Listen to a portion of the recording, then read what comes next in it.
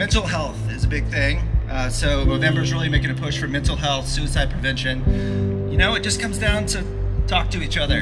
You know, guys have a tendency to like talk about carburetors, but not how they're feeling. But really, you know, this is about awareness. This is about camaraderie.